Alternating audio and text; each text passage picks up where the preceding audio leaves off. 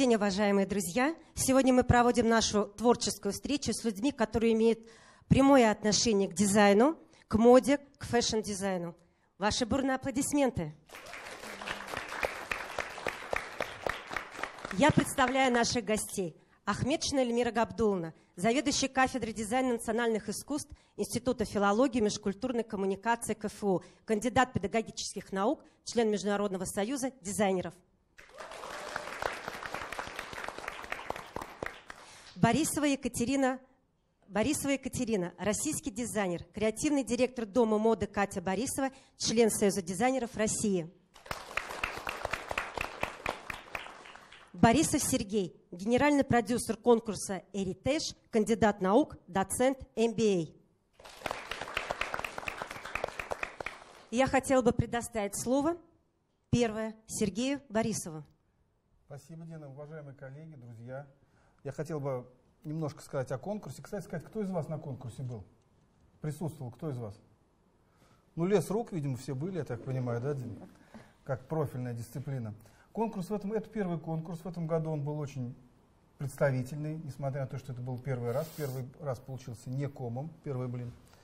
Значит, присутствовало э, 123 коллекции из э, 16 городов Российской Федерации, в том числе 5 федеральных университетов приняли участие в этом конкурсе, очень серьезно. Э, было представлено 96 коллекций, я говорю это вместе с фэшн и вместе с куклами. У нас еще был отдельно кукольный конкурс, конкурс куклы в национальном костюме. А, Все это патронировалось еще Международным союзом дизайнеров, и работали мы, естественно, под таким отечественным патронатом Министерства культуры Республики Татарстан и мэрии города Казани. Конкурс состоялся у нас, финальный уже конкурс, состоялся 28 числа, в минувшую субботу. Очень ждали вас, конечно. Вы наши главные участники. Э, было подведено и вручены э, награды в двух номинациях. В номинациях «Национальный костюм» и в, номинации «Образ». Ну, мне кажется, все очень получилось. Не знаю, может быть, у нас представитель жюри скажет что-нибудь. Конкурс действительно был хороший. Приятно, что национальная тема, она такая действительно живая и волнующая тема, потому что приехали, ну, ваши сверстники, то есть молодые люди, которые сделали национальные коллекции, не хипстерские, не на хайпе, а вот такие национальные коллекции. Были очень удачные работы, прям таки подиумный фэшн, скажем так, с небольшой доработкой, с небольшой стилизацией, их можно было бы выставлять на различные fashion week – и было очень приятно видеть, как развивается общество в, в определении места национального костюма. Потому что те времена, когда а, народ считал, а, в глобальном смысле, народ считал, что народное искусство это где-то там, вот на выставке ярмарки мастеров, а все остальное не имеет к этому никакого отношения, они, конечно, уже прошли. И дизайнеры, я надеюсь, среди вас есть дизайнеры? Дизайнеры одежды. Все дизайнеры. Ну, молодцы. Я имею в виду дизайнеры одежды, да.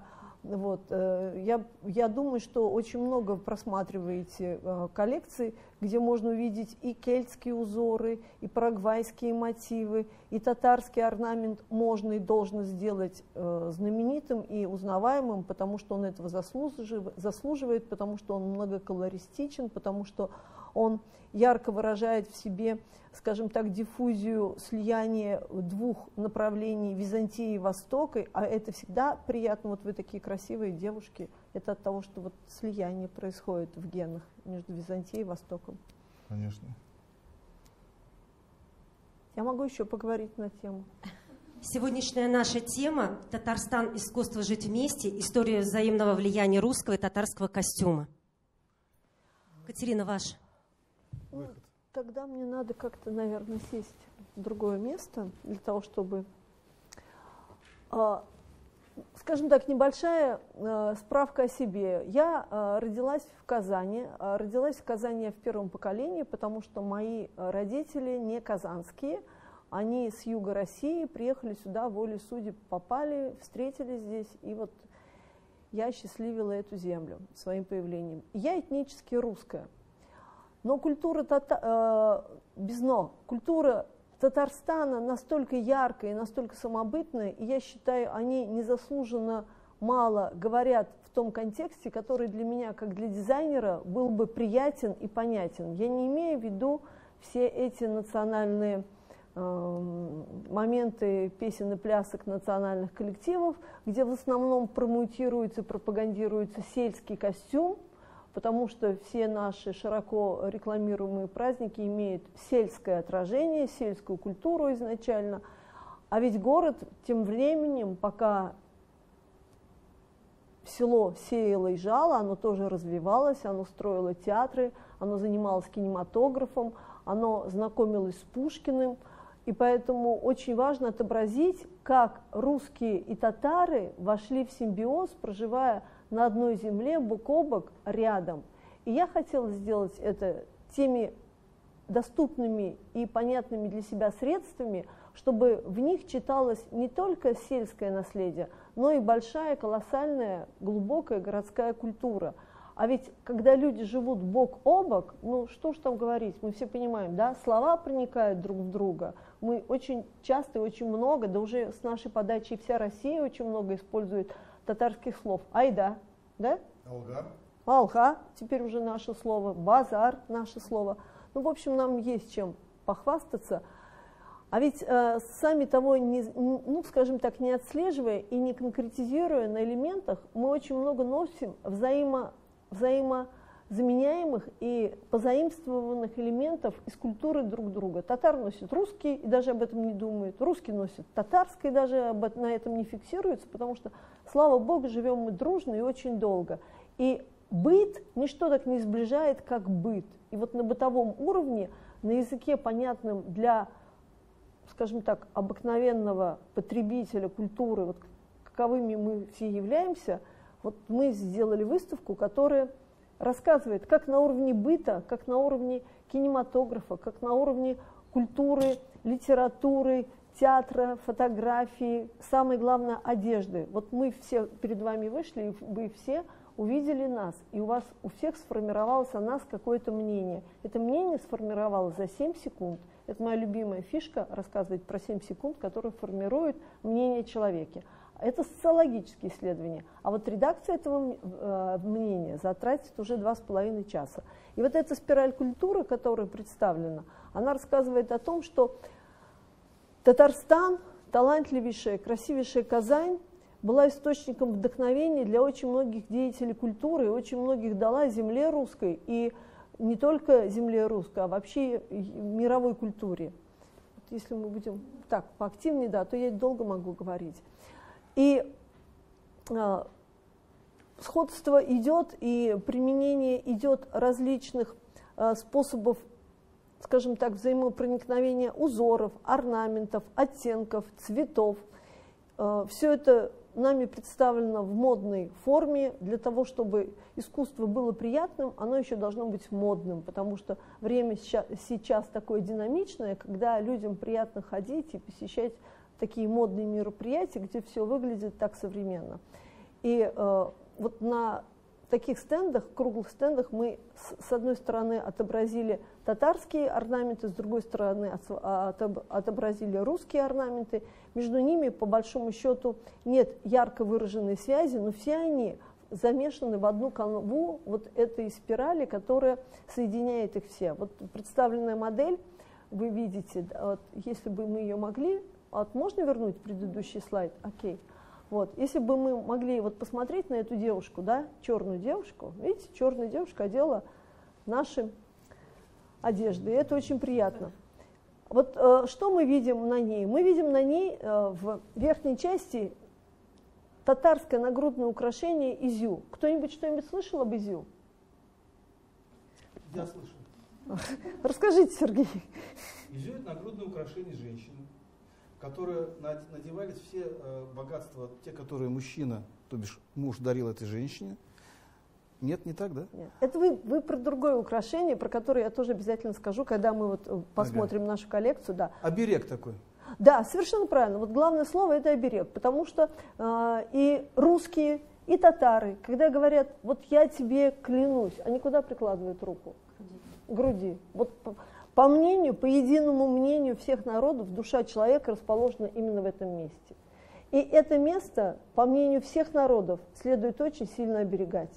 И это место ну, мы давайте будем следовать традиции для того, чтобы оно не было подвержено злому глазу, э, для того, чтобы оно не было подвержено разрушительным чужим энергиям. Женщины украшали его и закрывали его. Ну и по мнению женщины и тогда, и сейчас, лучшим украшением груди является что? Бриллианты. Золото. Ну, золото, камни драгоценные, украшения. украшения. Да, совершенно верно. В разных слоях они были разные, но тем не менее это место украшалось. И это место, вот, то есть, и это украшение называется изю.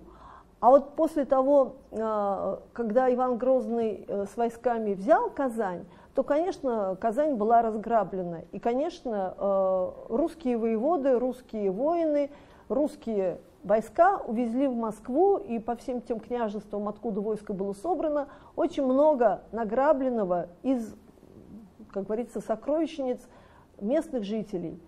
И вот с того времени вот такое, ну, скажем так, большое фэшн-шествие Изю начало по всему миру, потому что сначала, ну, представляете, это вот как сейчас, туризм, спасибо комитету по туризму, который поддержал, да, который поддержал наш проект большой.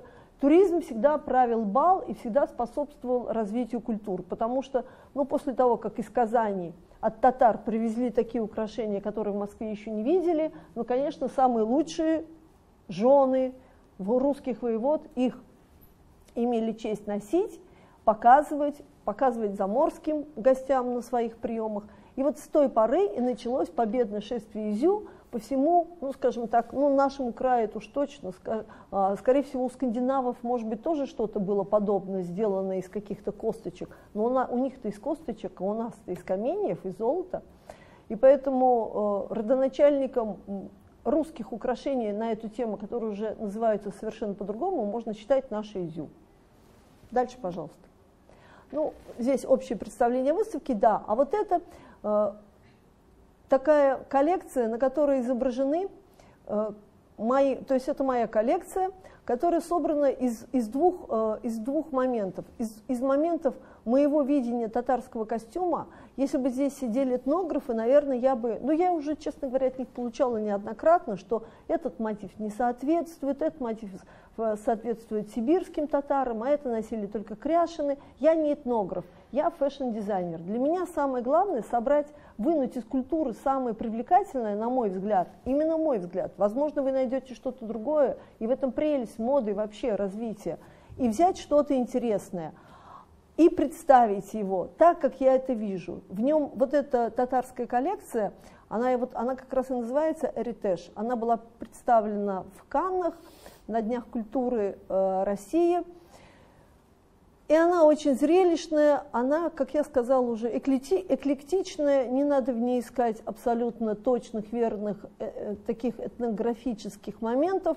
Она про вдохновение, про то, чтобы иностранцы, да и мы посмотрели на себя и как-то погордились, загордились, как-то порадовались. И самое главное, чтобы это нас стимулировало к развитию дальше.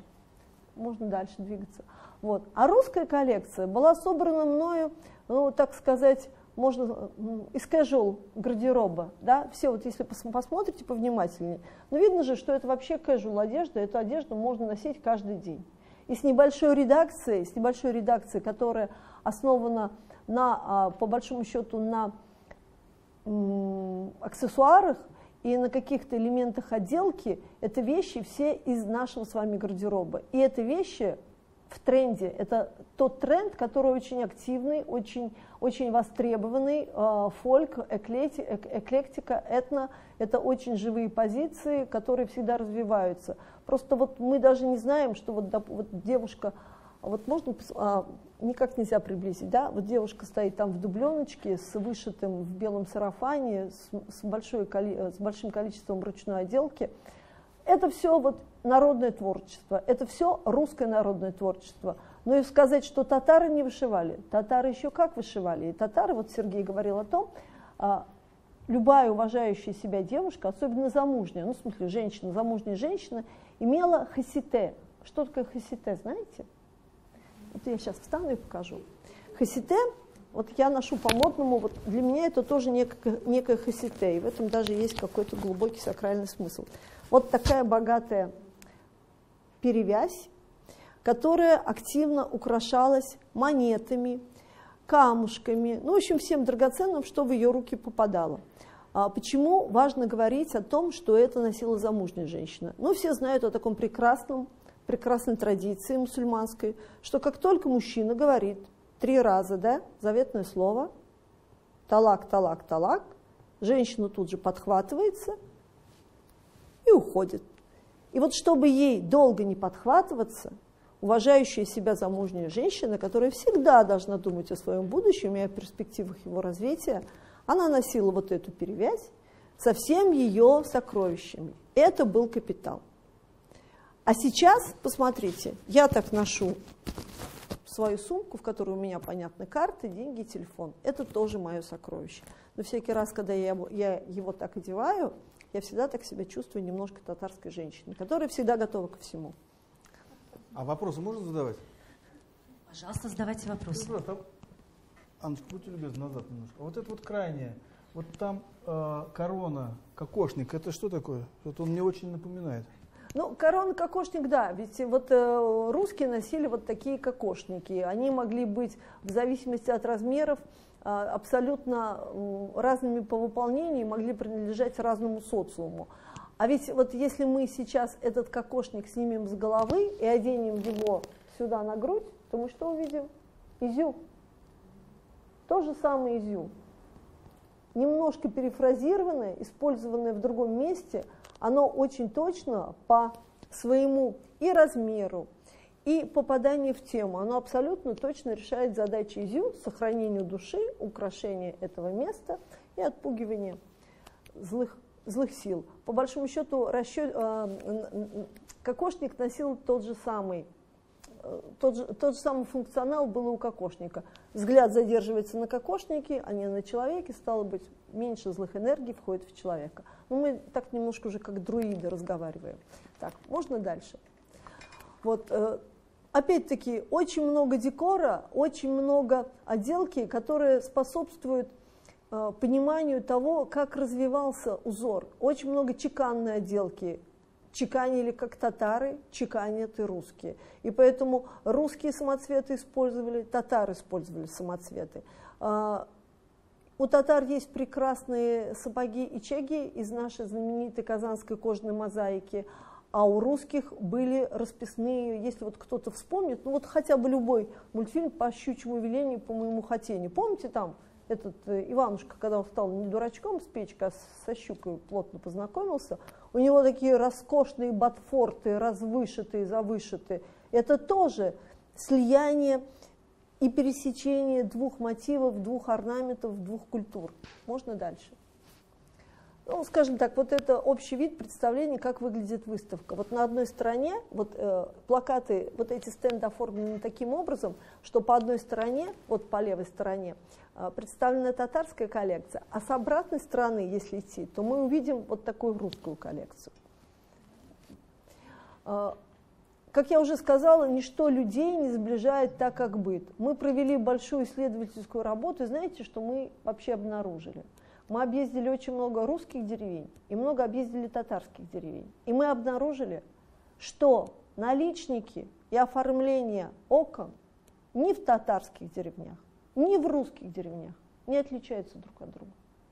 Нет никакого специфического узора, который ты приезжаешь в деревню и прям сразу говоришь, а, ну все понятно.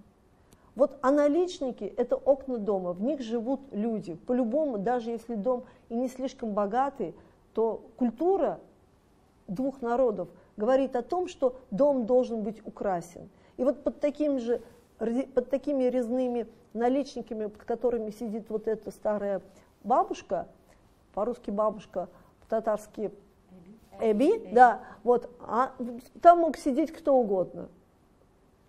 Ну, а это деревня. Вот э, стилистическое единство вот этих наличников, оно, наверное, Мне кажется, в большей степени не потому, что э, очень похожа там орнаментика, да, истоки, а потому что взаимопроникновение культуры, оно в, в пределах да. Э, одной территории, да, да оно очень да. мощное. Вот эта эклектика, откуда она взялась, как раз э, потому что рядом мы соседствуем и у друга учи, у друг, друг у друга учимся и перенимаем что-то. Да, самое интересное, если кому-то понравился этот узор, никто не говорит о том, что ой, татарский узор я себе такой не вырежу. Нет, понравился и все делают. И вот бытовое соприкосновение наших народов и дает возможность вырасти таким прочным дружеским отношениям. Мы ведь празднуем праздники друг друга, да? Мы поздравляем друг друга и с Уразой, и, э, и с, с э, Ураза и с Пасхой, и дарим друг другу и куличи, и мои друзья-татары приносят мне баранью ножку, и это классно. Еще у нас больше выходных, чем в России, что тоже немаловажно. Вот. Это вот как раз часть экспозиции, которая говорит о быте, где быт, по большому счету, в деревне оформлен абсолютно одинаково. Что русские, что татарские дома изнутри обставлены одинаково. За исключением, конечно, а, таких религиозных моментов. А, у русских стоит в красном углу икона, у татар висит Шамаиль. Но он висит, и у русских иконы тоже есть. То есть святое место в доме всегда для духовности всегда находится. И это тоже такой сближающий момент.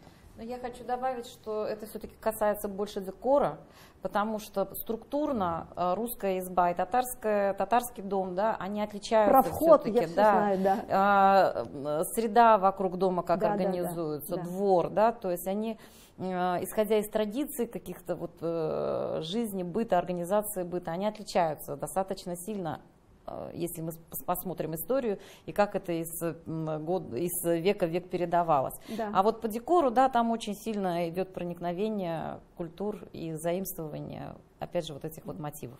Да. Ну и, конечно, сильнейшим мотивом нас объединяющих, но, наверное, я не, как, э, как э, фэшн-дизайнер могла об этом, об этом не говорить, но раз это входит в нашу презентацию, я об этом скажу обязательно, это, конечно, наша еда.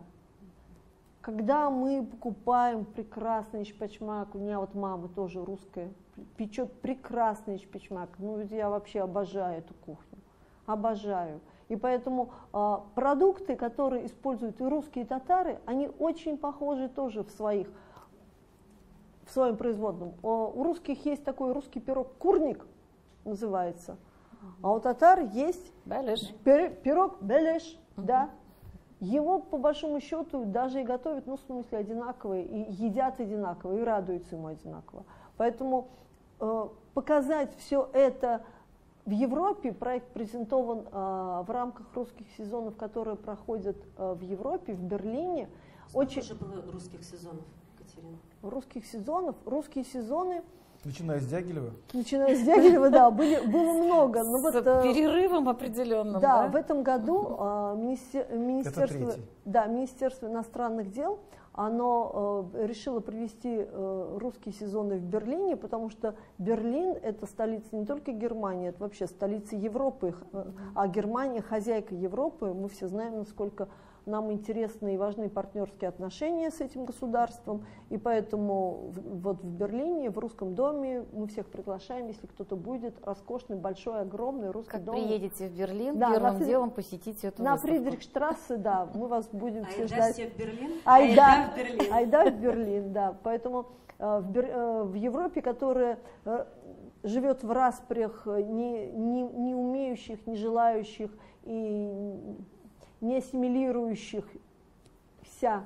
к, к европейской культуре э, беженцев, для них, конечно, это вот очень важный вопрос, как научить народа жить в дружбе. Но мы никого не учили, мы просто вот сделали проект и показали, как мы живем. Мне кажется, очень интересный вопрос вы такой затронули. Э, это взаимоотношения художника и критика. Э, и вот вы как раз сказали, что где-то вас там обвиняли да, в э, недостоверности и так далее. Э, я думаю, это происходит все потому, что понятия подменяются. Есть понятие исторического костюма, да, то есть как, где как раз очень четко требуется соблюдение э, каких-то традиций, э, и орнаментика, и фактура, и ткань, и так далее. Есть дизайнерские вещи, которые просто э, исполнены вдох, вдохновленным дизайнером, да, под влиянием вот разных культур, и какие-то образы художественные, творческие рождаются у него в голове, и затем рождается коллекция. Э, мы тоже, э, в общем-то, столкнулись с этим, и э, знаете, в последнее время с нашими студентами, вот как раз э, Мадина Мухаметовна а, Махмутова, преподаватель нашей кафедры дизайна национальных искусств ФМК КФУ, в этом году сделала две, э, две работы со студентами. Одна исторический костюм, э, и одна это коллекция для, э, скажем так, Э, деловых женщин Татарстана, э, была разработана одежда, в которой, мне кажется, женщины, деловые женщины Татарстана могли бы представлять нашу республику где-то на каких-то приемах, на каких-то деловых встречах. Я думаю, что можно эту коллекцию сейчас посмотреть, да, и вот э, видение наших студентов уже, их взгляд – на э, татарский костюм, национальный костюм, и как это в современной интерпретации может э, выглядеть, сейчас можно было бы посмотреть как раз. Ну что, друзья, посмотрим коллекцию, которую разработала дизайнер Бурханова Сабина, выпускница кафедры дизайна национальных искусств и ФМК. Коллекция называется «Нежность».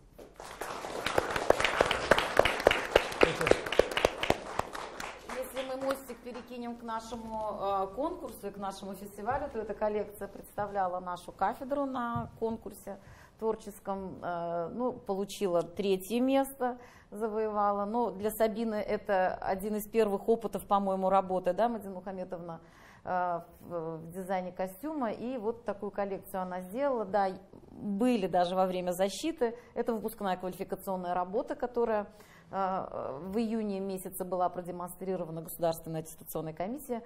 А, были вопросы, но в целом вот современное прочтение и как можно тонко с национальной темой войти уже в современную одежду, вот э, студентка, мне кажется, э, неплохо представила в этой своей коллекции. А, мне кажется, участие в нашем конкурсе Сабину вдохновило на дальнейшую Э, работу в этом направлении, потому что, к сожалению, на нашей кафедре нет профиля дизайн костюма, хотя э, востребованность есть. И я здесь хочу сказать, что э, название нашей кафедры, вот кафедра дизайна и национальных искусств, она наталкивает на то, что должен быть посыл вот этот вот э, к конечно, национальному костюму, обязательно. да, обязательно. Э, мы работаем, конечно, над этим, но на сегодняшний день у нас есть э, студенческая творческая группа Татар Стайл, и вот на, в творческих группах и в, на выпускных, э, на защитах выпускных квалификационных работ э, мы можем иногда вот наблюдать вот такие вот коллекции. Это очень приятно, потому что ну, нет профиля, э, не готовим мы дизайнеров костюмов, а коллекции периодически, ежегодно 2-3 коллекции у нас защищаются. И они вот именно пропитаны э, вот этим национальным духом. Да, то есть это не какая-то просто современная молодежная коллекция, да, а именно вот в таком ключе студенты разрабатывают. И я понимаю, и мы все понимаем, что интерес-то есть у молодежи, да, просто нужно его поддержать и где-то направить. И мне даже немножко было неловко, когда э, на какие-то простые вопросы вот студенты сейчас не смогли ответить. Э, мы должны изучать, мы должны, мне кажется, обращать на это внимание, и тогда мы получим развитие национальной темы в костюме вот от молодых уже дизайнеров. И наш фестиваль и наш конкурс очень порадовал э, тем, что уже такая подрастает хорошая, э, скажем так, как, как, как это назвать, смена, смена хорошая да. смена да, нашим фэшн-дизайнерам уже именитым, кто уже давно работает э, с национальным костюмом, с национальными мотивами. Очень порадовало. Ну, я думаю, что мы вот еще раз девочкам поаплодируем и отпустим их. Может быть, да, ну, девочки, это подождите, девочки пожалуйста, модели, да? да. да. Екатерина, мы, ваше да, экспертное мнение. Да, мы хотели вот рассмотреть, вот так получилось, вот так, так случилось абсолютно вот, ну, спонтанно, что эти костюмы являются собой яркую, вот это реально так, это никакой рояль в кустах, это не было продумано, это не было подготовлено. Вот обратите внимание на первую модель, которая ближе к вам стоит в длинной юбке, ну в юбке длинном миди и в укороченном жакете. Вот э, посмотрите на длину ее рукава. Опусти, солнышко, ручку с сумочкой. Видите, рукав удлиненный, да?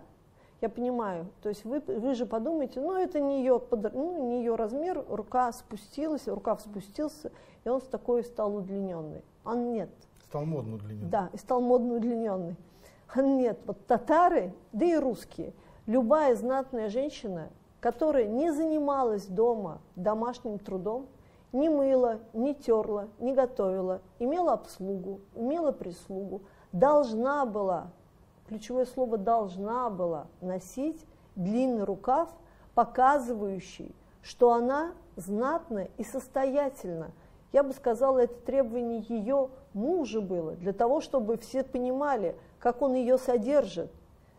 И поэтому длинный рукав – это всегда ну, на генном уровне это уже отложилось. Длинный рукав – это всегда рукав, принадлежащий женщине, которая не обременена грязной работой. И вот обратите внимание на вторую модель в брюках. Вот дизайнер, конечно, этого не знал, но вот это называется кухаркин рукав, потому что рукав достаточно высоко открыт, и по идее он не может быть использован вот когда шьют из таких богатых тканей, ну, условно богатых, из дорогих тканей с глянцевым покрытием, понятно, что эта ткань очень трепетная, понятно, что она ну, в такой-то в повседневной жизни не может часто быть используема, потому что ну, вот она трепетного отношения просит. А рукав-то у нее короткий, поэтому вот эта стилистическая несостыковка говорит о том, что дизайнеру надо немножко точнее копать в этом направлении – немножко точнее. Не страшно, что рукав такой, ну просто если вы говорите о национальных тенденциях, если вы говорите о деловой женщине, то деловая женщина ну, такое себе никогда не позволит. Хотя использование изю, вот этого э, элемента ну, изю... Но, может быть, это молодая деловая женщина. Ну, которая еще пашет и пашет. Да, да. Засучив рукава. Засучив рукава. Молодежная коллекция. Да, и вот имейте в виду, всякий раз, вот всякий раз, когда вы вот так хотите поддернуть рукав, да, вот всякий раз думайте о том, что так делают люди, которые обременены большой работой, большой, большой, трудной, тяжелой работой. И если вот э, вы идете куда-то на собеседование, вот придете ко мне на собеседование, вот придете с таким рукавом, ну не обижайтесь, если вас впахивать заставят, потому что вы всем своим внешним видом Запоминаем. Это, это продемонстрировали. У второго рукава, по большому счету, та же самая проблема, он достаточно укорочен, но при этом а, дизайнер одел а, вот эту перевесь, эту перевесь, хасите, да. Она здесь стилистически обыграна вышивкой, богатой, красивой вышивкой, что является в некотором смысле ну, некоторым аналогом тех богатств, которые бы женщина, девушка сюда принудительно закрепляла. Но вот укороченный рукав, для пропорции он хорош, а вот для темы, опять-таки, богатая хасите и укороченный рукав, это стилистическая и смысловая несостыковка. Если вы выбираете такой рукав, что дизайнеру позволительно, я сама, как вам уже сказала, миксую те моменты, которые мне нравятся, мало заботясь о, о, о какой, какой этнической группе татар они принадлежат. Так, ну вот здесь просто стилистическая несостыковка хорошего большого объемного рукава и вот, вот этой э, перевязи хасите. Я небольшое такое от темы э, хочу отойти чуть-чуть от темы. Вернее, наоборот, в тему рассказать небольшую историю, связанную с Екатериной. Буквально на днях мы неожиданно встретились на концерте классической музыки. Когда я на следующий день у нее спросила, а понравился ли вам концерт, она сказала, категорически не понравился, потому что солистка а, пела оперную арию, а рукав у нее был три четверти. Это совсем не, не соответствует тому, что она делала. Несла разумная, добрая, светлая и очень а, к высокому нас а, звала да, своей музыкой, и вдруг у нее вот неудачно совершенно подобранная рука в три четверти. Кстати, действительно ощущение вот это вот было несоответствие образа, в, в котором певица вышла на сцену, и того, что она делала на сцене. Поэтому э, это вроде как бы и может быть и С мелочь. не работал дизайнер, да, фэшн-дизайнер. Да, да. Она не получала а, даже консультации. Вот э, человек, который, профессионал, который знает вот эти все нюансы, вот эти тонкости, Екатерина, она сразу подметила, и как э, большого профессионала это ее немножко даже покоробило, да, что ну. э, вот это вот несоответствие, мы потому что всегда воспринимаем люди творческие, э, те, кто рисует, да, да, у нас картинка зрительная и звук, они должны обязательно соединиться и очень гармонично соединиться в нас. А здесь вот этой гармонии не произошло, и, видимо, поэтому где-то вот такое вот э, было немножечко чуть-чуть негативное отношение к тому, что делалось. Ну, вот это то самое правило 7 секунд, когда ты внутренне чувствуешь диссонанс, не можешь, может быть, его сформулировать в чем. Да. Но диссонанс чувствуется. А если позволите, я как раз хотел вернуться к нашему конкурсу и к тому, о чем да. вы говорили, да, изначально. Вот ведь у нас было три номинации, которые мы делали в рамках ПФУ Федерального университета. И одна из них была традиционный национальный костюм. И на традиционный национальный костюм нам из этих вот, из этого большого, там 96 заявок, не было ни одной заявки. То есть Нет, были, не было. То есть все заявки были, так сказать, препарированы уже в современном, да. да, сценический костюм был. А вот традиционного национального костюма сделано не было, кстати сказать, ни одного представления не было. Есть ли какие-то мысли, почему так получилось? Может быть, мы девочек отпустим? Да, да. большое спасибо. Давайте поаплодируем девочкам.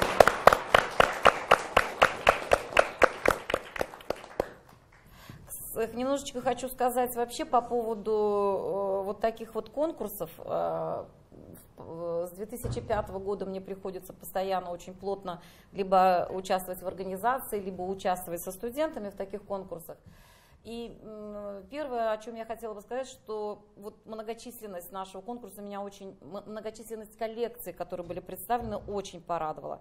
Потому что буквально года три назад э, эти конкурсы были не многочисленными, да, то есть э, было, мы получали немного заявок, это нас очень расстраивало, что бум на театр мод, на вот э, работу с костюмом, на э, дизайн костюма, какое-то новое видение молодежное среди молодежи прошел, как будто бы мне показалось.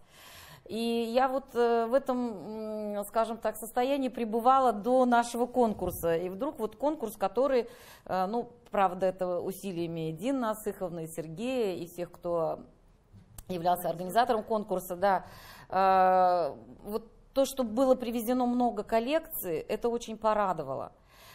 Ну, исторический костюм действительно мы со студентами не имеем возможности, и это, наверное, может быть и не, не совсем наш профиль, да, вот mm-hmm. именно заниматься воссозданием таких музейных э, костюмов исторических.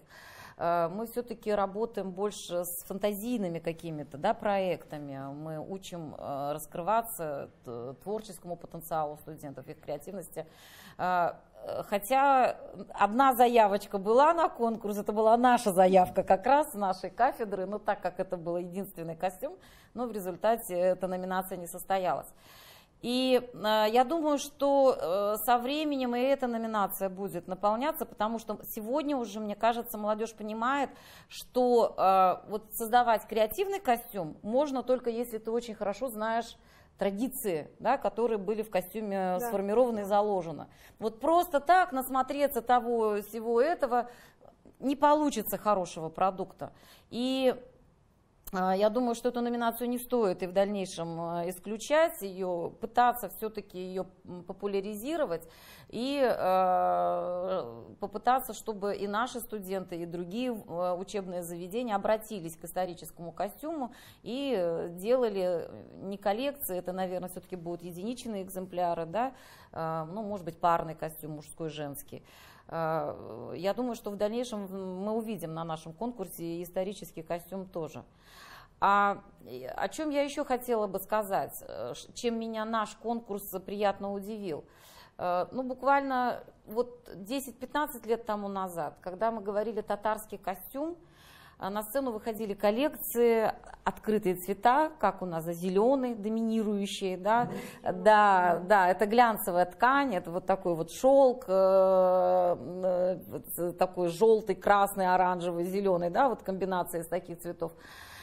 И э, я всегда смотрела, это вот я и называю вырви глаз, да, в определенной комбинации это очень смотрится жутко.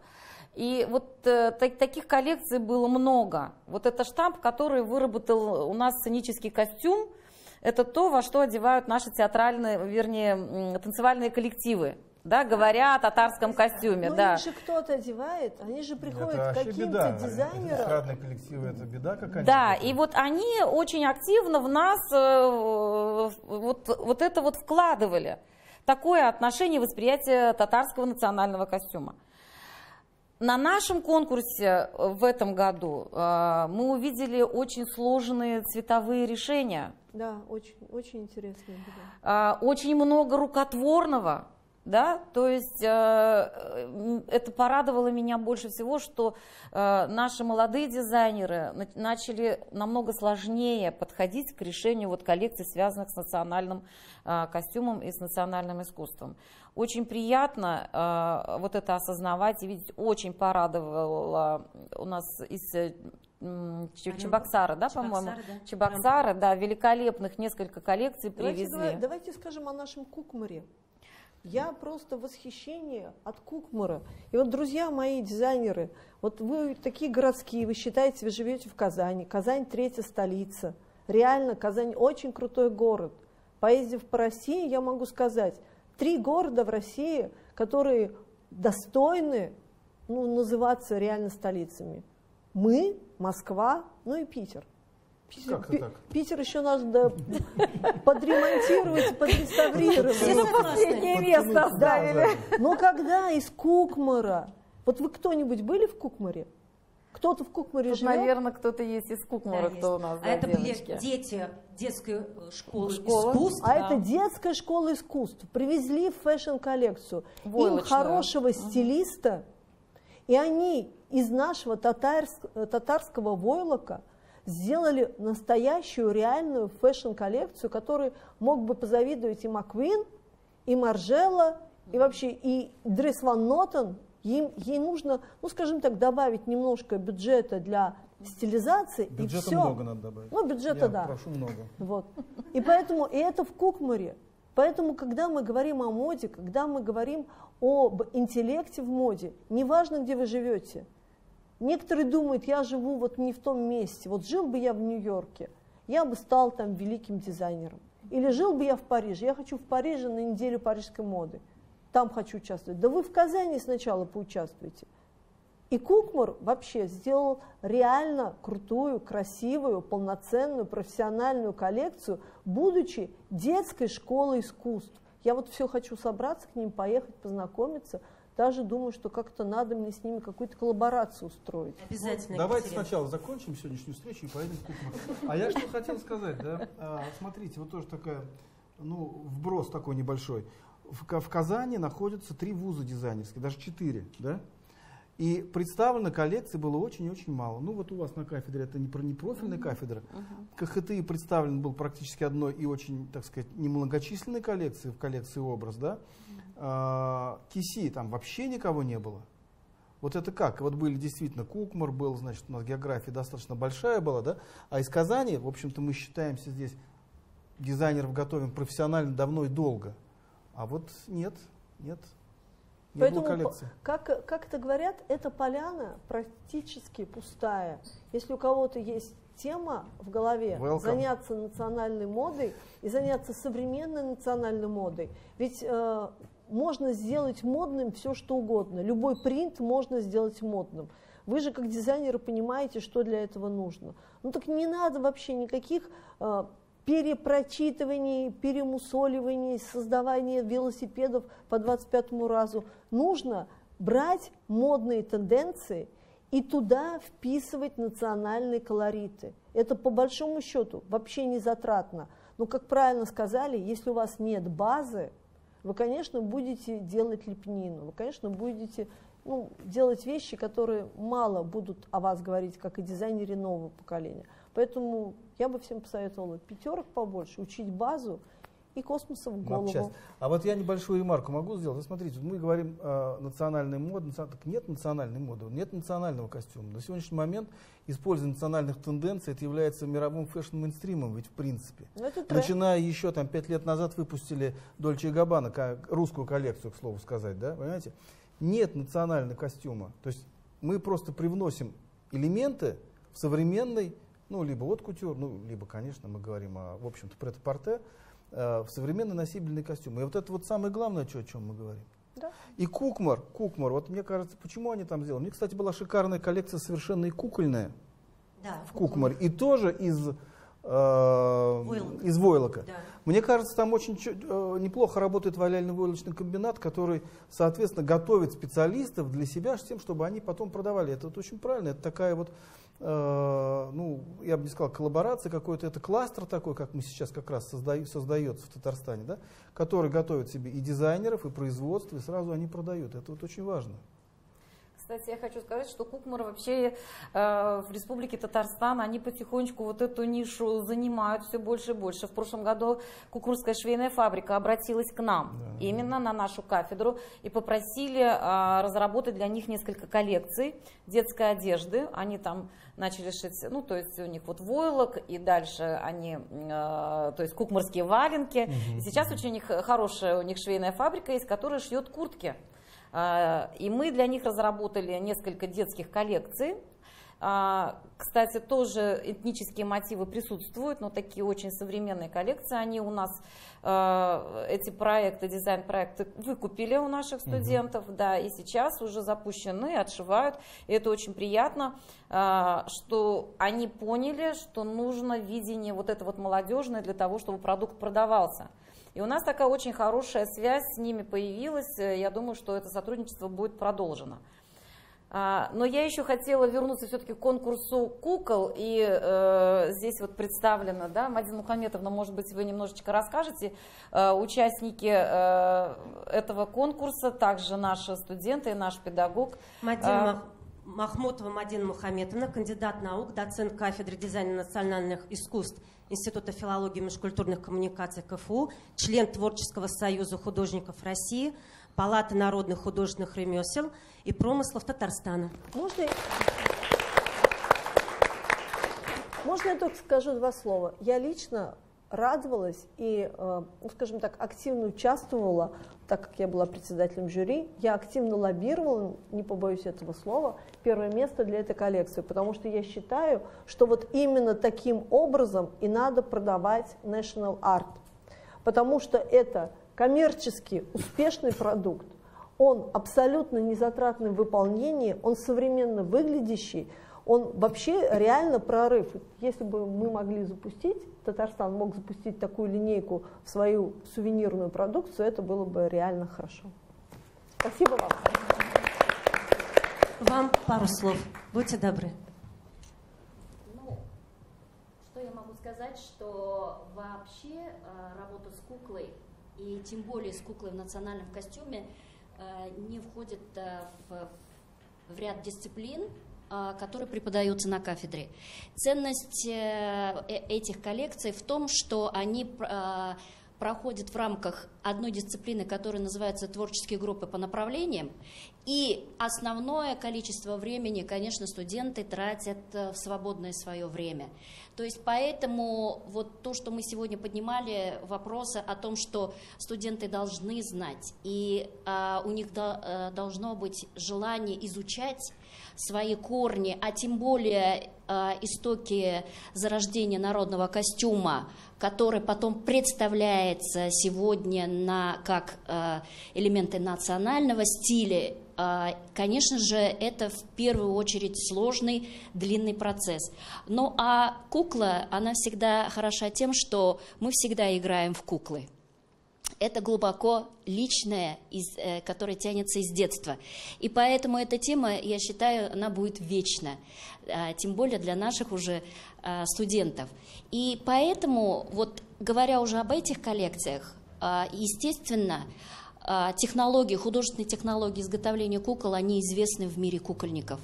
Это и шарнирная кукла самая сложная, это и каркасная кукла, и мягкая кукла, а, которая шьется из ткани, сама форма.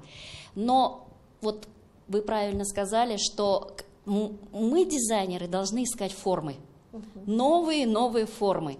И поэтому я хочу показать, как выглядит именно эта коллекция. А, ну, вот, например, допустим, а, если ее не взять в руки и не перевернуть, то э, ни один человек не, не догадается, что в основу этой, э, этой коллекции легла детская кегля. Игрушка, и которая по бюджету а, по цене 15 рублей. То есть внутри пластмассовая кегля, а, в которую играют дети детского сада. И в чем уникальность этой кегли, что у нее есть как раз та самая голова, которую можно а, разрисовать, и а основа вот здесь есть, за что можно зацепить конструктивно ткани для того, чтобы они представляли вот такую форму, а, на которую уже насаживается костюм. И получается, что коммерчески действительно этот проект может быть успешным, потому что вкладывается минимальное количество затратных средств и максимальное количество как раз дизайнерского мышления, да. дизайнерского подхода. И вот если студенты будут а, максимально предлагать именно такие формы, а, своего а, дизайнерского решения, мне кажется, наша задача вот э, будет решена именно как преподавателей. То есть получается, что мы таким образом их стимулируем для того, чтобы сегодня а, создавать качественно новый продукт, дизайнерский именно продукт, даже в, в сфере кукол в национальных костюмах. Да. Спасибо, Спасибо Мадина Мухаметовна. Ну что, ребят, пришло время вопросов. У кого есть вопросы? Здравствуйте. Мы увидели представленные вами коллекции и вопрос по технической части. А какой путь проходит изделие вот от идеи и уже до экспонирования вот даже в русском доме в Берлине? Может быть, у вас есть какие-то там секреты, вам кто-то помогает, э, что-то делается вручную, что-то на, ну, уже автоматизированно. Расскажите, пожалуйста. Конечно, секреты есть. Я хотя и названа в честь великой э, императрицы Екатерины, но, конечно, я бы одна это все, все не сделала, потому что слов нет. Мои ручки тоже имеют к этому большое приложение, потому что, когда идет такой большой проект – у тебя нет возможности просто так осуществлять русское, о, русское, осуществлять общее руководство. Все берут, что в руки могут взять, иголки, нитки, клей, там, монтаж какой-то и делаем. Конечно, работает большая команда. Путь проходит очень большой, очень длинный. От эскизного проекта до воплощения прошло, сколько, Сергей, прошло времени? Ну, год, наверное. Год. Целый год. То есть это вы, вы, выкристаллизовалась дизайнерская идея, а, какие-то другие моменты приходилось обтесать. Как, как сказал Роден, делать хорошую скульптуру очень легко, надо отсечь все лишнее. Вот по большому счету сделать хороший проект очень легко.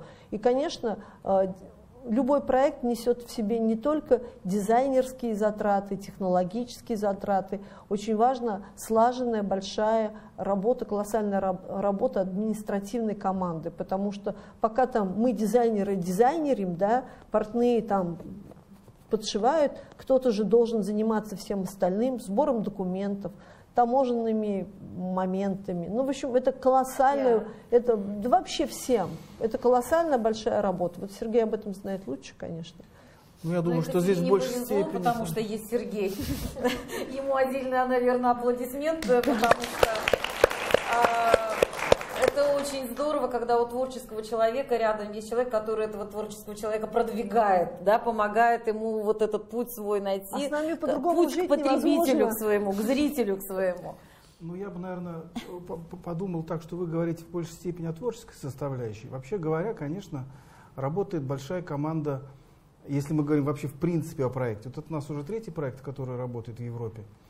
И я скажу так, что э, да, административный ресурс, конечно, здесь присутствует, но не в этом дело. То есть сидит команда, то есть есть человек, который генерирует идею.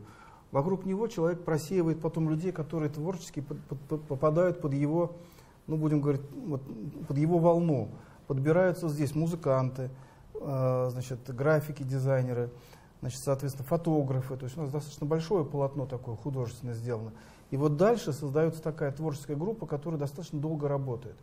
И ваш вопрос о том, сколько это все проходит, действительно это проходит. Даже вот мы вывезли проект, открылся он у нас 15 августа, а у нас еще, а, условно говоря, 28 июля у нас еще точки над «и» поставлены не были. То есть все равно все было вот в таком вот. И более того, любой художник всегда недоволен. Мы приехали туда, он говорит, нет, вот здесь надо было не так сделать, здесь надо было не так сделать. Поэтому это живой процесс, очень живой процесс. Я вот э, еще один вопрос к этому же добавлю. Да? Это вопрос не от меня, а от студентов. Потому что они мне очень часто этот вопрос задают. А должен ли дизайнер костюма уметь шить? Обязательно. Это обязательное условие. Если кто-то думает, что быть портняшкой, быть портнихой, уметь шить, это вообще ниже его дизайнерского достоинства, просто не тратьте время дальше, разворачивайтесь и ищите себя в том месте, где ваше достоинство будет спокойно. Я закончила ПТУ, сначала швейное училище, потом закончила курсы квалификационные, потом закончила институт, после института училась в Токио как магистр уже, и вот, вот сейчас я вот и еще сейчас думаю, куда бы мне пойти поучиться, не так давно я закончила дизайнерскую школу детали в Москве, вот э, у меня есть свои декораторские амбиции, Поэтому учиться всегда нужно и важно. Любой э, профессионал вы же знаменитый фильм «Москва слезам не верит». Видели?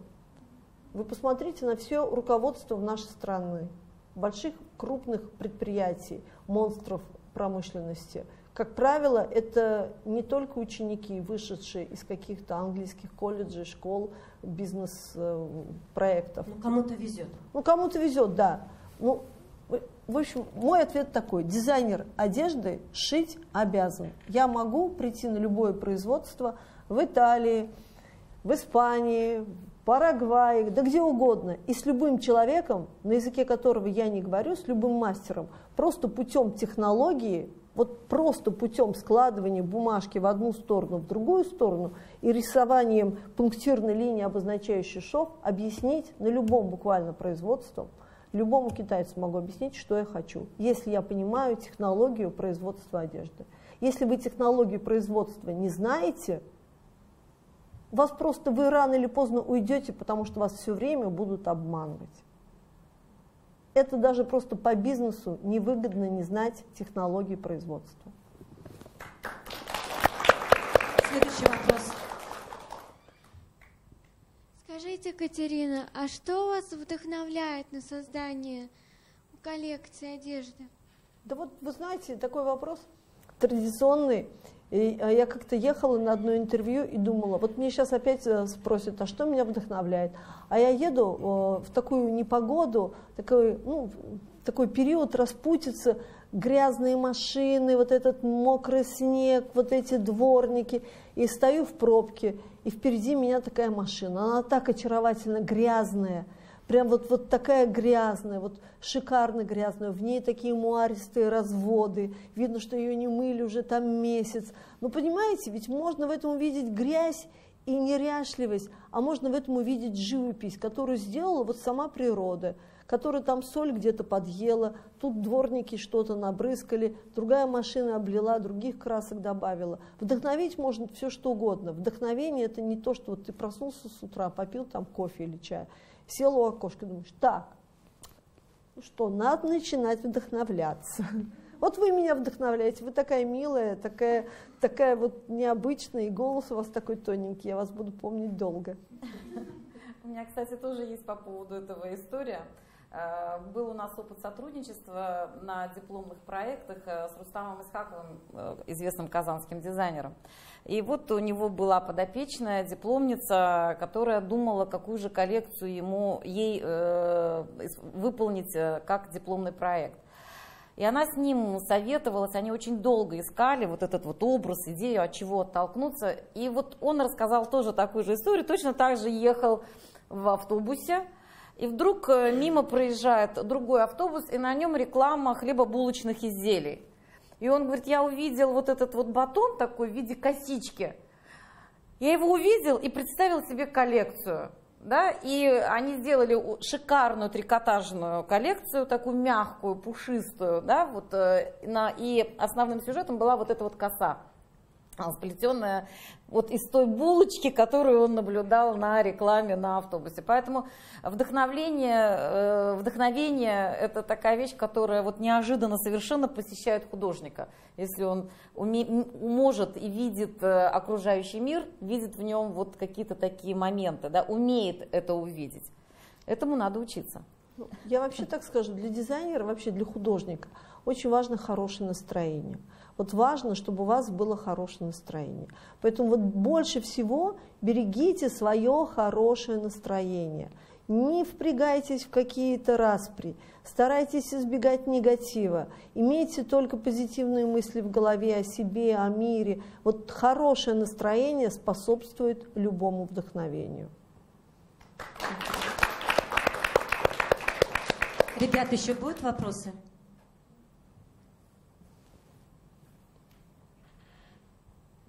Здравствуйте. Добрый день. А, скажите, как, по вашему мнению, сейчас стоит одеваться современной молодежи? О, современная молодежь, вот э, хороший вопрос, с одной стороны, он такой классический, как стоит одеваться современной молодежи. Вот э, я сейчас сяду на своего любимого конька про 7 секунд. Вот 7 секунд – это не моя находка, о чем я, кстати, сожалею, но во что я свято верю. 7 секунд вы можете сами по себе проверить. А вот э, когда я вошла в студию, вы на меня посмотрели, да, ну там вот я прошла, потом постояла, ну 7 секунд понятно прошло. Вот для того, чтобы редактировать этот образ, мне понадобится два с половиной месяца. И не, и не факт, что меня опять пригласят в эту студию, и опять соберетесь вы, и я опять смогу что-то сказать, что изменит ваши отношения, ваше мнение обо мне, которое сделало ну, первым образом, вы же первым делом вы меня увидели в одежде. И вас всех видят сначала в одежде. Только после того, как вы зашли, 7 секунд прошло, вы имеете возможность продемонстрировать свой интеллект, если вас об этом попросят. Ну, вы можете хотя бы тембр голоса продемонстрировать. А ведь все до этого работает только визуал. И это счастье. Потому что благодаря хорошему визуалу, то есть хорошему выглядению, вы имеете возможность где-то остаться, куда-то зайти еще раз в какие-то двери. Поэтому как должна одеваться современная молодежь? Современная молодежь должна одеваться так, чтобы запомниться и чтобы оставить о себе хорошее впечатление в той целевой аудитории, где она вращается. Ведь эти судьбоносные 7 секунд могут сегодня с вами случиться многократно. Вот, наверное, девочки, ну все точно это знают. Наверное, для мальчиков это не так типично, хотя мальчики сейчас тоже хо-хо. Вот. Встречаешь кого-то, и тебе говорят, ой, на меня не смотри, я так плохо выгляжу, я так болею, вообще я так вот только выскочила вот там вот добежать до стоянки, до парковки, хлеб купить, еще что-то. Случалось такое? У мальчиков нет, ты права. Мальчики так друг другу не говорят. Они наоборот хвалят, слушай. А, да. Да. А представляете, и вот этот же человек, он же вышел там с немытой головой, в непонятной обуви, в непонятной одежде. Ну так вот, ну вот вышел и вышел. Он не рассчитывал никого встретить, хотя странно, почему же он не рассчитывал, он же в городе живет. И вот эти 7 секунд и ваши впечатления, а вы посмотрели на нее, так говорили, ну да, да, понимаю, потом пошли к подружке, встретились, говорит, я сегодня встретил ее, вообще выглядит ужасно. Он ее, наверное, бросил. Ну как одеваться-то? Одеваться, нет, вот нет секрета гардероба. Когда люди говорят, что я равнодушна к моде, я в это не верю, потому что никто из нас не ходит в брюках а-ля панталон, а-ля Людовик. Все ходят в нормальном крое, который присутствует в наши дни. Одевайтесь типично для своего, а, ну как сказать, для, для, для своего социума, для своей местности. Вот, допустим, если вы бледная, ну не надо рисовать на скулах такой багрянец, румянец, да, только потому, что вы решили одеть малиновые брюки или там малиновую куртку. Немножко надо понимать, что такое цветотип. Все это понимают. Про, ну, я не Мне буду... кажется, что не все это понимают. Ну, я, это сейчас уже вообще, одно время это было очень модно, и говорить о том, что существуют цветотипы. Женщина-осень, женщина-весна, женщина-лето. Все понимают, о чем я говорю, да? Все понимают? Ну, покивайте, чтобы я понимала. Да, вот. Сейчас существует другая тенденция. Говорить о том, что это ну, консервативное разделение, что сейчас везде микс, потому что люди зимой выглядят более бледно, с красными носами, и, кстати, вот очень, очень такая тема. Когда вы куда-то идете на какое-то, ну, такое эвентовое э, праздничное мероприятие, вот обязательно надо учитывать освещение. Сколько раз я была на таких мероприятиях и видела, как прекрасная женщина, дама, девушка, одетая в бордовое платье, под вечерним освещением, после шампанского, приобретала бордовое лицо, потому что алкоголь, освещение, платье, все это озаряло нежный прекрасный облик, и там от нежности ничего не остается. И признаться, я вообще не, не критикую никого за селфи, потому что селфи – это возможность понять себя, узнать себя, узнать свои сильные стороны, понимать, с какой стороны не только у тебя нос короче, длиннее, но все-таки ты же еще видишь там то, что после носа внизу остается – ты видишь, ага, зеленая кофточка не подходит, надо брать другую кофточку. Поэтому определение своего светотипа и как можно меньше клонированности. Большие сетевые глобальные бренды, они вообще работают и день и ночь не спят для того, чтобы как можно больше денег получить нас с вами. Как, как можно больше сделать нас с вами одинаковыми. Если мы с вами одинаковые – мы такие простые в управлении, потому что мы начинаем считывать друг друга по образу стаи. Да? На нас сразу калька накладывается стайное поведение. Стайное поведение выгодно всем, начиная от управления нами большим государством, заканчивая, скажем так, манипулированием нас, на, на, нами в семейных группах. Поэтому не теряйте своей индивидуальности. Не спрашивайте дизайнера, как надо одеваться. Одевайтесь так, как вот вам ложится на сердце, как вы считаете, вот вам в этот момент нужно, важно и интересно. Когда я училась в Токио, в Токио есть такой известный район Харадзюка. Слышал хоть кто-нибудь? Погуглите Харадзюка. Вы не представляете, ну я туда, ну я дизайнер, и вообще училась достаточно давно, была помоложе, одевалась очень ярко. Думаю, ну сейчас я туда приду. А туда приходит вот именно для того, чтобы произвести впечатление. Я туда пришла и почувствовала себя серой мышкой. Реально серой мышкой. Ни одного лайка я вообще в свою сторону не получила. Потому что там нет людей, одетых в тенденции. Там есть люди, одетые во вдохновении. Там ходят мальчики со шпагами, в косухе и в шпаге. Кто сказал, что это некрасиво? Ну, может быть, в автобусе это ездить неудобно. Но это, это мечта.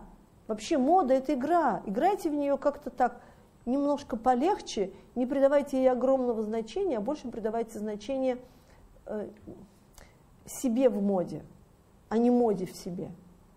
Как-то вот надо выглядеть, а для девочек очень важно выглядеть красиво, просто красиво – не как хочет, чтобы, а, не, не так, как Зара вам советует выглядеть, а так, как вы хотите выглядеть.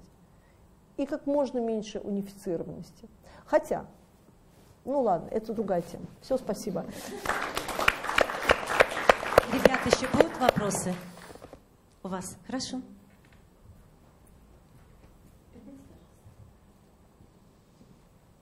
Меня вопрос. А, расскажите, пожалуйста, интерес... Ой. А, с чего вы начинали и вообще идея стать дизайнером, она была с детства или в какой-то период пришла? Я расскажу очень быстро, потому что, как все любые семейные истории, они очень долгие. Я никогда не мечтала быть дизайнером, всегда хорошо рисовала, окончила художественную школу, всегда рисовала очень хорошо. Начиная там с восьмого класса, всем одноклассникам рисовала выпускные платья. Мечтала стать следователем, поступала на юрфак, не прошла по баллам, тогда еще была бальная система. Хотела пойти в прокуратуру, работать делопроизводителем, то есть стать девочкой, подай, принеси, там, носить бумажки для того, чтобы заработать трудовой стаж и опять поступать на юрфак. Мамочка пала мне в ноги и сказала, ради бога, какой юрфак, вот не теряй года, пожалуйста, пойди научись, была перестройка, носить нечего, вообще, вот просто магазины, не было ничего в магазинах, вам сложно это представить, просто не было ничего в магазинах. Типа того, как я тебя замуж буду выдавать, мы росли, я росла без папы, хоть иди себе юбку научись шить. Для меня это было безумное падение вообще с Олимпа моих амбиций, юрфак и вдруг ПТУ швейный. Я туда пошла и встретила прекрасных людей, которые также, не желая терять год, после неудачного поступления туда пошли. Два года я там отучилась, научилась шить, кроить, влюбилась в эту профессию, все и пошло-поехало. Ну что, друзья, наша встреча подходит к концу. Я думаю, это не последняя встреча. Очень приятно, если еще раз позовете. Несколько слов мы тоже скажем. Да. Да. Да. Давай. Ну, если позволите, я начал тогда, я, так сказать, с меня заканчивать. Я бы хотел, знаете, дорогие мои друзья, сказать одно. Вот к тому, о чем вы говорили, о вдохновении. Сейчас существует очень такая известная теория 10 тысяч часов. Слышал кто-нибудь про нее?